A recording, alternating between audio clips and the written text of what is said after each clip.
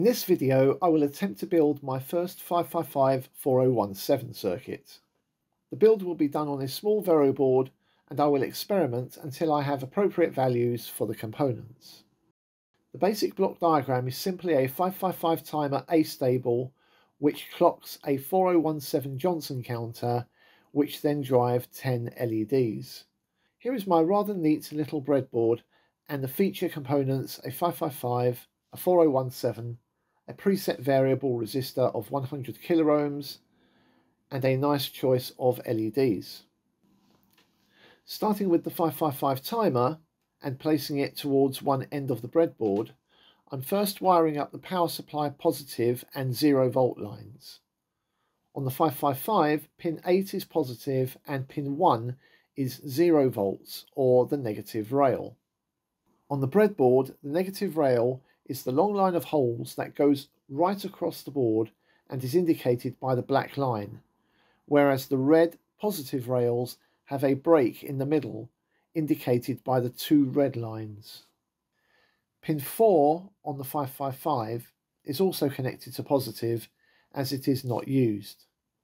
I chose this preset skeleton resistor because it has a high 100 kilo ohm value which is going to be handy for producing a slow square wave output. I will wire this in shortly.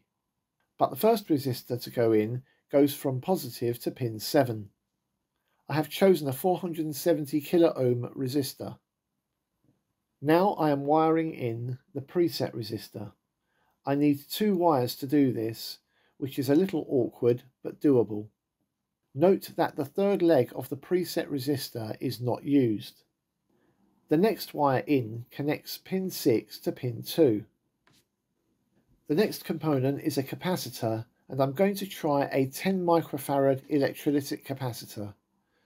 This goes in with pin 2 being the positive end of the capacitor and the negative end of the capacitor going to the negative of the power supply. We're almost done and I'm just going to put a green LED and 1 kilo ohm resistor across the output of the 555 which is pin 3. Okay, time for the first test. Power on and it doesn't work. Okay, something is clearly wrong the LED is not coming on, nor is it blinking. Nor is it dimly on. I might have a dead 555 chip. So here I'm taking this one out and I'll pop another one in its place. That didn't solve it either. Hmm. We're not off to a very good start, are we? Well, I have a green LED and it's not coming on. So here I connect its anode to pin 4 which is positive, so it should come on straight away as it should pass current through it and through the 1 kilo ohm resistor connected to the negative. However, it doesn't. I figure it must be a faulty LED, so I swap it out with a red LED and this LED finally lights. I then connect it into place to pin 3 and it lights, but it is continuously on. It is supposed to be blinking. As I turn the preset resistor, I get a brief blink from the LED, so something is happening. I'm getting closer. Now I can see it blinking very slowly and the off time is very short. My resistor and capacitor values need changing. Starting with the 470 kilo ohm resistor, it must be too high, so I swap it out for a much lower value resistor, 560 ohms. It's blinking much faster now, but I want it a little slower, so I'm changing the capacitor to 100 microfarads.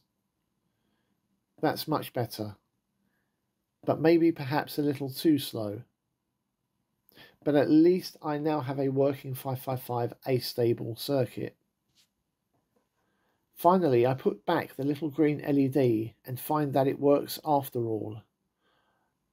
It might have just been a poor connection the first time round. I'm still not quite happy with the values, so here I'm swapping out the first resistor for a 15 kilo ohm value, and the capacitor I'm changing for 22 microfarads. These give me a much nicer blink, both in frequency range and in on to off time.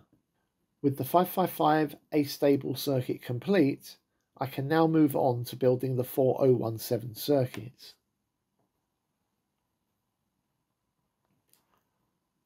starting with pin 8 to negative and pin 16 to positive.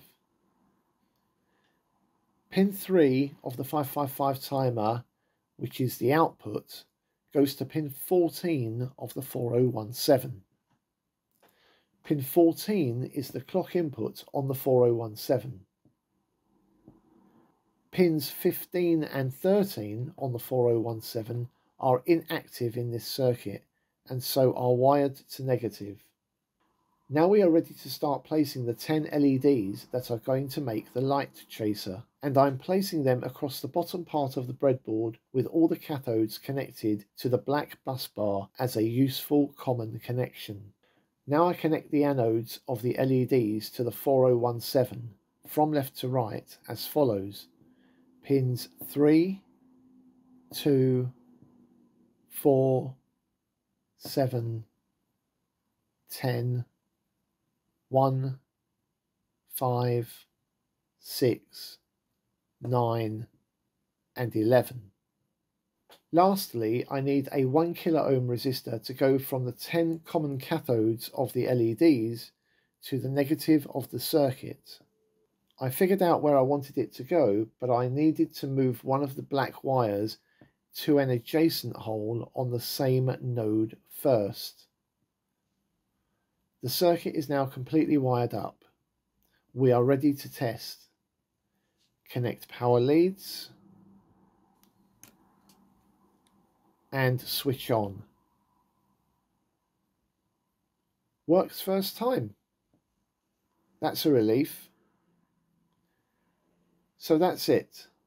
The circuit is working.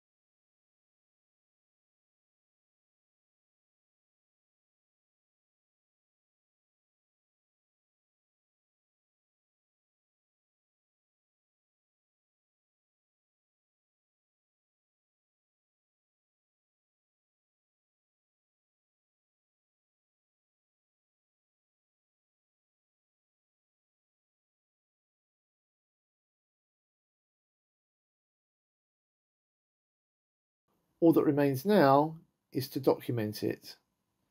Let's draw the full circuit diagram.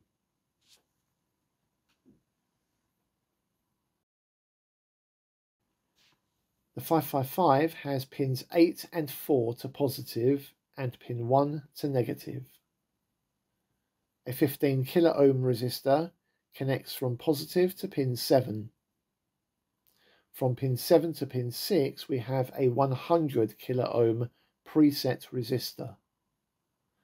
Pins 6 and 2 are connected together. From pins 6 and 2, we place the positive end of a 22 microfarad electrolytic capacitor whose negative end goes to the negative of the circuit. The output comes out on pin 3 from the 555 which then connects to pin 14 of the 4017. Three pins from the 4017 connect to negative, pins 8, 13 and 15. The 10 LED outputs come from, in order, pins 3, 2, 4, 7, 10, 1, 5, 6, 9 and 11. These connect to the anodes of the 10 LEDs. The LED's cathodes are all connected together and connect to a 1 kilo ohm resistor which then connects to negative. Lastly, I forgot to mention the little green monitoring LED that gave me so much trouble.